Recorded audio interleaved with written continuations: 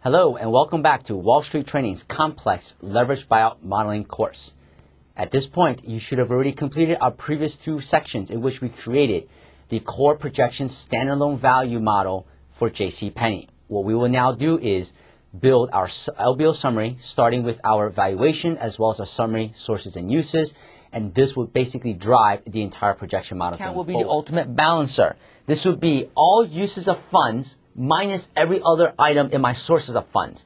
The equity is going to balance everything. And why? Briefly explain this in our LBO overview course. There are two ways to balance the sources and uses. The first way is to hard code an equity amount.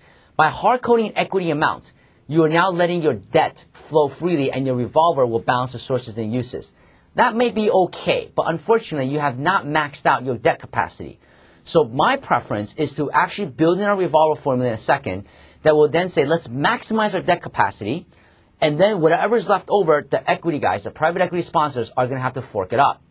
This way, in cell N20, we will now say equals N32 minus the sum of everything on top of me from N14 through M19.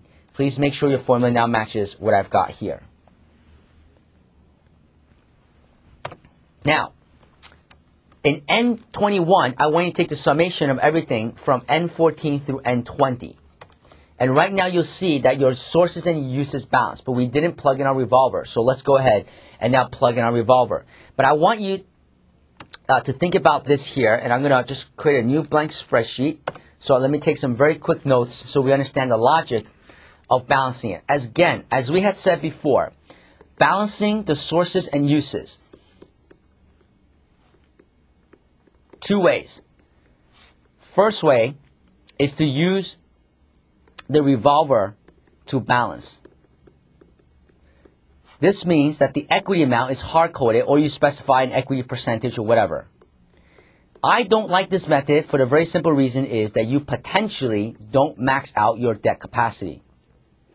Potentially don't max debt capacity. The second way which is my personal preferred method, is to have the equity balance. Why? Because we're first going to have the revolver fully max out the debt capacity. Now, we have another constraint here. The other constraint is simply that, as you may recall, we cannot let the revolver balance. The revolver has a cap the revolver is capped at the revolver capacity. Because the revolver is capped at the revolver capacity, here's what I want you to do. It's a simple, quick min formula. Here's how this min formula is going to work. First of all, we're going to say the following. We're going to say H35. By the way, what's H35? That's my max debt capacity. This number minus the sum of N17 through N19. This is all my new debt raised. This formula by itself allows you to maximize your debt load. But we did have a switch in there, if you recall, that said you can't borrow more than that 1500 bucks on your revolver. So we're going to say, give me the minimum of R18, my maximum capacity on my revolver. This way, what we are saying is, if this maximum debt load amount blows through your capacity, then basically just borrow what you can on your capacity and then the equity will balance everything. But recall there's one more thing you need to incorporate here. Remember, in order to get our proper uh, debt sweep working, what do we have to do? We have to make sure the revolver balance never goes below zero. So in the event that you accidentally hard-coded your term loan, senior, or sub-debt such that that was greater than H35, your maximum debt capacity, you're going to have a negative number. Again, if you accidentally coded your total debt that you borrow higher than your debt capacity, your revolver is going to go negative. Don't let it go negative because then your debt sweep will not work.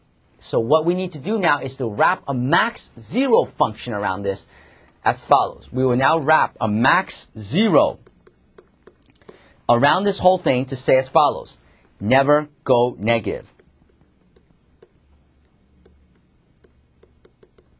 Never go negative. And therefore, this is the formula that I'm now going to highlight for you on the screen that we will use to make sure that this is good.